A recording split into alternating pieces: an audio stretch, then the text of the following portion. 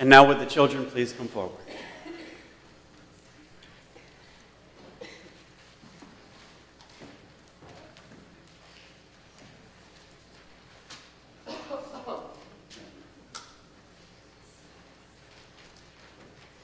Good morning. I hope everyone had a good Thanksgiving. I heard that your household was very full. Was your household very full? Yeah. Are you glad to have it to yourself again? Yeah. That's fair. It's okay. It's fair. so, what is one of the main reasons we have Thanksgiving? What do we do on Thanksgiving?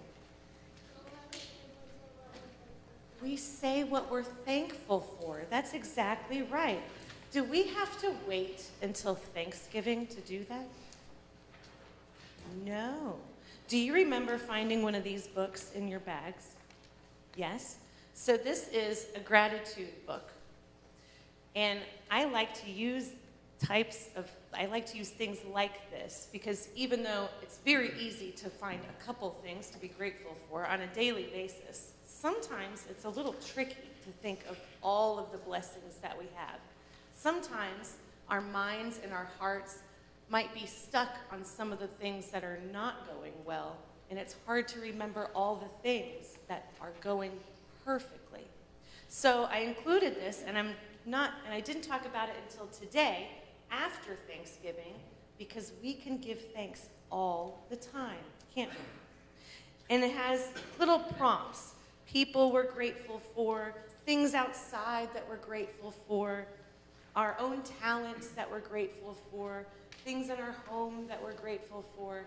And you can do just a little bit every day. There are tons of versions of these that you can find anywhere. You can just make a little list before you go to bed if you want to. You don't even need a fancy book. And I think it's really important to do because the more good things you think about in your life, the less hard the hard things are. Have you noticed that?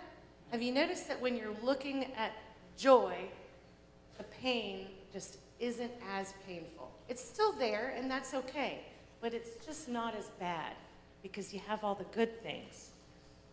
So I want you to use your book and help your sister too, okay? Because you'll have to do the writing, right? Use your book just a little bit. And maybe not every day, how about every week?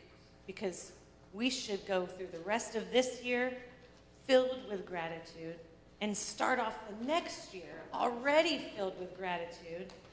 And what a joyful year it'll be if we're always thinking about all the stuff we have that we're lucky for, right?